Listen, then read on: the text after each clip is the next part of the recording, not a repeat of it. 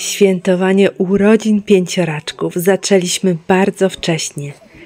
Maluszki zwykle wstają o dziesiątej. Tym razem musiały stać o siódmej i przygotować się do imprezy. Zamówiliśmy cztery torty. Elizabeth, Evangeline, Ariana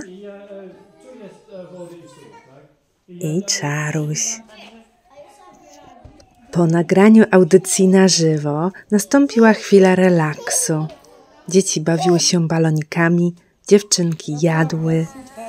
Byli też pierwsi goście, jak na przykład mała Ola, która poznała pięcioraczki już w szpitalu. Potem obejrzeliśmy audycję na żywo, w której braliśmy udział. I zjedliśmy pierwszy tort. Goście powoli zjeżdżali się do nas. Tutaj nasze krakowskie anioły. Wszyscy podekscytowani czekaliśmy na popołudniową część imprezy. Nie mieliśmy pojęcia, ile osób zjawi się na naszym przyjęciu pięcioraczków. Około dwunastej zrobiliśmy sesję zdjęciową. Nawet fajnie wyszła ta dekoracja. Choć nieprofesjonalnie, ale z wielkim sercem. Maluszki wyszły całkiem fajnie. I jeszcze wspólna fota. Te są dla mnie najtrudniejsze.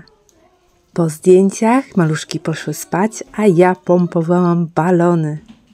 A potem maluszki wstały, znowu zjadły mleczko i czekały na swoich gości. Powolutku zbliżała się czwarta godzina. W ten wyjątkowy dzień każdy miał prawo nas odwiedzić. Drzwi nasze były otwarte. Zjawiło się wielu gości, których nie znaliśmy zupełnie. Ale byli to cudowni ludzie, którzy otoczyli nas ciepłem i miłością. Kto chciał z nami być, mógł. Rzeką płynęły też wiadomości od Was, życzące maluchom wszystkiego dobrego. No i dużo ciepła otrzymałam ja.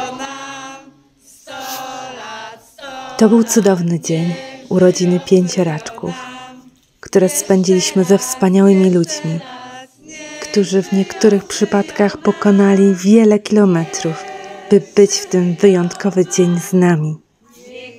Ja starałam się bardzo nie myśleć o wspomnieniach z przeszłości, pomimo że jest to piękny dzień do świętowania, budzi też wiele wzruszeń i bólu. Dobranoc.